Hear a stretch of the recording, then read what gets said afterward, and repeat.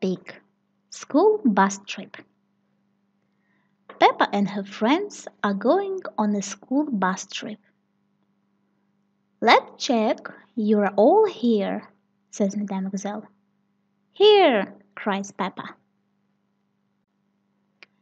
Today, begins Madame Gazelle, we're going on a trip to the mountains. Hooray! cheer all the children. Peppa and Susie are already a little hungry. Please, can we eat our lunch now? They ask Madame Gazelle. Why not? Eat your apples and save the rest for the picnic, she replies. Crunch, crunch. The bus has arrived at the foot of the mountain.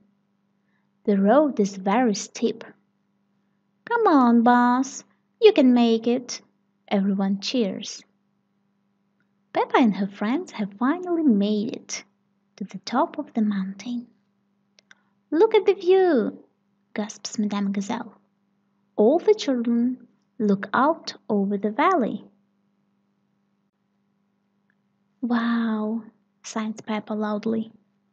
Wow, wow, wow, Peppa hears in the distance. What was that? She asks quietly. It's your echo, Peppa, replies Madame Gazelle. An echo is the sound you hear when you speak loudly in the mountains, explains Madame Gazelle. Grunt, woof, baa, snort. Now it's time for a picnic lunch. Peppa loves picnics. Everyone loves picnics. Munch, slip, munch, yum yum. Where are the ducks?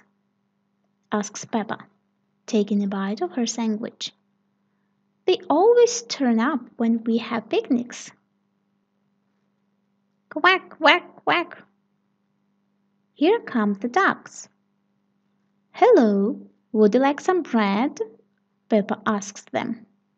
The ducks are very lucky today. There is plenty of bread. The bus has arrived. It's time to go home. Let's all sing a song, suggests Madame Gazelle.